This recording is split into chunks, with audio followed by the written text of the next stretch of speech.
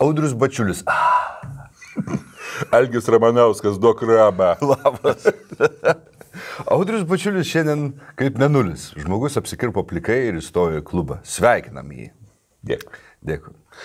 Pradėkime mūsų eilinį epizodą, pradėsim jį nuo mūsų aršios patreonės, Birutės Butienas klausimo. E, Klausimas didelis, bet trumpai jisai yra apie tai, kasgi čia įvyko, apie prokurorų suėmimą ir teisėjų suėmimą. Prokurorų nebuvo Ne, suimti. prokurorai, ne, čia prokurorai suėmė teisėjus, Jo, ačiū Dievui. Advokatai, advokatai ir teisėjai buvo suimti. Ką mes čia galime pašnekėti? Žiūrėk, uh, iš esmės apie, pat, uh, apie pačią operaciją, ką mes pasakysim, kai mes nelabai domėmės tą temą, bet yra du niuansai, apie kuriuos galima šnekėti. Mhm. Tai yra pirmiausia, visi, o ir pati ir Birutė mūsų paklausė, kam čia naudinga, žinai. Na, nes uh, sutik, kad viešojo erdvėje iškart prasidėjo spekulacijos. Tai ta supranti. šito neįmanoma yra. Ja.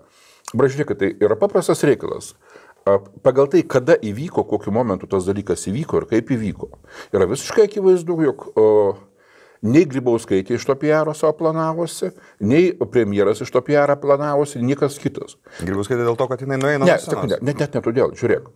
A, Juos pakavo a, penktadienio ryte, jeigu aš tiek klystu, ar ketvirtadienio, a, jo, penktadienio ryte.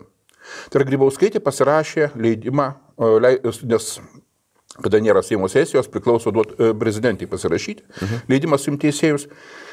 Faktiškai prieš lipdama į lėktuvą, kuriuo neišskrido valstybinio vizito į Lenkiją. Ir tas e, visas suėmimas pilnai nunešė Velniop visą jos vizitą, grandiozinį, apie kurį mes toliau kalbėsim. Taip, taip, taip. Tai jeigu nebūtų dariusi savo iš to PR, jinai niekada gyvenime nebūtų to padariusi prieš tokį vizitą. Jinai būtų padariusi arba stipriai iki, arba smarkiai po. Logiškai, jo. Antras dalykas, aš tikrai abejoju, kad um, prokurorai būtų derinę tokius sulaikymus, tarkim, su premjeru ar dar kažkuo. Tai aišku, informuotojai jį informavo, kad, nes nu, vis tiek toks įvykis. Bet man, kad ten buvo derinama kažkas, tai irgi labai abejotina. A, Man regis yra visas paaiškinimas, kodėl operacija vyko dabar ir būtent tokiu metu, yra a, 15 minučių LT portalė parašytas, žurnalisto vieno, a, kuriam dieną iki sulaikymo vienas iš advokatų paskambino ir pasakė, žinai, pas mane aš radau savo portfelį kažkieno įmontuotą pasiklausimo įrangą. Ir, kada, ir kadangi jisai, tas advokatas, kuris buvo sekamas STT, jisai vienas iš to paketų, kuriuos sulaikė, Taip. garantuotai jo ir telefonų klausėsi. Ir kai operatyvininkai išgirdo, kad, kad įvyko nutekėjimas toksai žiaurus, na aišku, kas jiems beliko, suprantate, per naktį sutvarkė dokumentus ir, ir ryte pakavo. Mhm. Taip kad čia tiesą sakant, operacija, kuri pasibaigė o, per anksti negu buvo planuota, Būtų susėmę turbūt daugiau. ne? Arba būtų daugiau susiję, be, arba, arba daugiau į, į, Įkalčių, įkalčių surinkę. Nes žiūrėk, tau netrodo keista, kad e, s- e, pakuoja 26 žmonės ir, ir kalba viso labo apie 400 tūkstančių eurų kyšių. Keista tikrai. Maža suma. Kapeikos. jo. Kapeikos, jo. Tai vadinasi, vat, e, ką turėjo tuo metu, tą dėjo ant stalo. Mhm. Nes ten būtent reikėjo per naktį viską padaryti. Taip, suprantu. jo. Ir analogiškai beje ir su Masiulio byla buvo. -huh.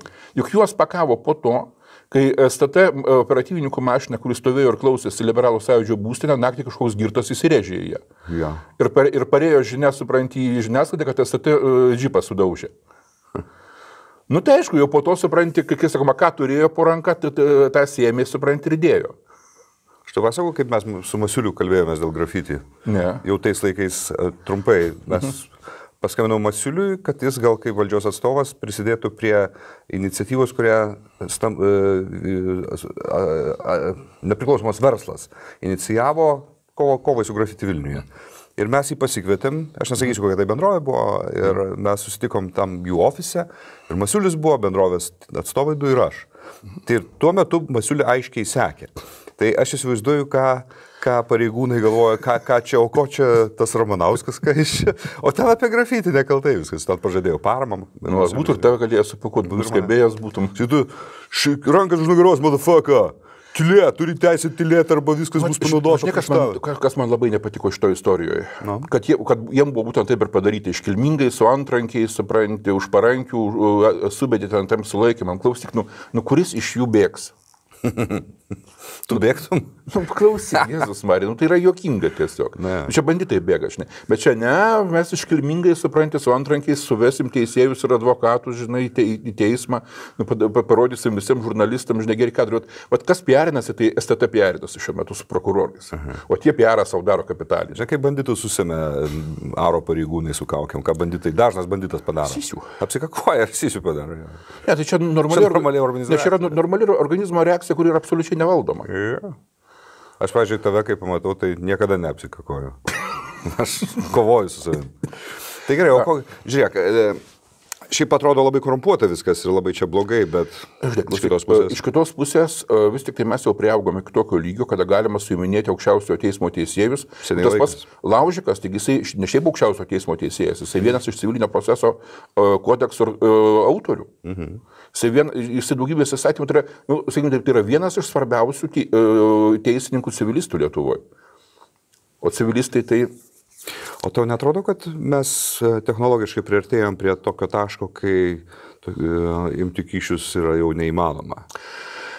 Mes... e, Aš priartė- turiu minį pasiklausimą, Ne, mes prieartėjom prie taško, kada imti kyšius tradiciniu būdu tampa nebeįmanoma. Uh -huh. Supras, kad pasaulis šitos procesai jau seniai yra praėjęs. Taip. Mes dabar, e, mūsų operatyvininkai, kaip ir beje mūsų e, korumpuoti veikėjai, yra maždaug tame lygmenyje, kuriame buvo, pavyzdžiui, amerikiečiai kokiam praeito amžiaus 8-9 dešimtmetyje. Uh -huh. Riko aktas ir visi kiti dalykai, tada pasiklausimai, pakavimai, mafijos tas sutvarkymas.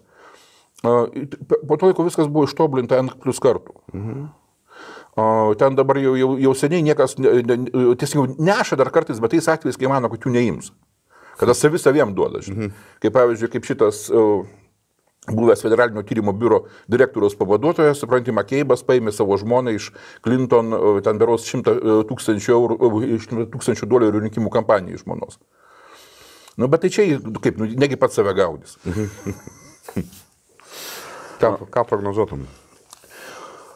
Šiaip jau, kad byla bus sunki, garantuotai. Mhm. Ne ir tai būtų buvusi sunki ne mažiau 5-6 metų, suprantate. Ten kai kurie advokatai, kurie gynė MG reikalus. Irgi susiję. Vienas, Vienas, toksai, jo, jo. Bet jisai jau buvęs, jisai ten, e, ma- matyt, pasitraukė nuo tos bylos. Aha. Bet esmė ta, kad, kad kadangi va, čia viskas šitas dalykas akivaizdžiai buvo padarytas, matyt, va, greituoju būdu, tai gali būti, kad ten tas visas kaltinimas ir procesas užsitęs dar ilgai, ilgai. Nu, sakau, tikriausiai susemti žmonės, kurie patys rašė kodeksus.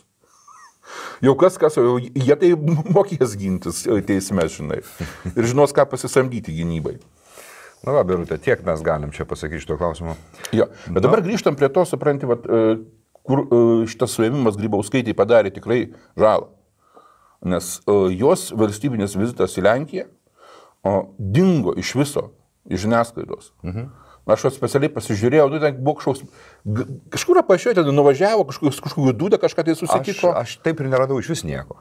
Nu, tai visko, tai vat, iš esmės, esmės, ieškau labai probėgoms. Taigi. istorinis vizitas, tikrai to žodžio prasme, istorinis vizitas, -huh. Dingo iš žiniasklaidos uh, akiračio. Aš sakyčiau, jeigu kurčiau samokslo teorijas, tai sakyčiau, Grybauskaitė specialiai tai padarė, supranti, vat, kad jinai būtent specialiai liepė simti tada, kad niekas nežinotų, kad ji nuvažiavo į Lenkiją. Bet Ir pardavė Lietuvą Jo, ir pardavė Lietuvą Lenkijai. Na, nu, šiaip iš tikrųjų, tai kas įvyko, o, tai yra, buvo de facto suvienytos uh, Lietuvos ir Lenkijos karinės pajėgos. Nes uh, prezidentai abu, uh, Grybauskaitė ir Duda pasirašė deklaraciją dėl tarpusavio uh, santykių stiprinimo, saugumo, gynybos rytyje. Ir kartu buvo kariuomenių vadai, kurie pasirašė susitarimą, kurio Lietuvos geležinio vilko brigada, kuri de facto šiuo metu yra na, pagrindinė Lietuvos kariuomenės dalis, mhm. su visa pagarba brigadai žemaityje, bet Dar net ten beveik. Jo. Jinai su, bendras vadovavimas daromas su Lenkijos 15 brigada, kuri kito, yra kitoje savalkų o, tarpo pusėje. O aš Ir klausiu, kas vadovauja, kas yra pagrindinis vadovaujantis karininkas.